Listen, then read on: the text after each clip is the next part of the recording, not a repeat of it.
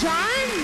Ito na po, here's our next Mr. Pogi, Muhammad Imad El Youssef.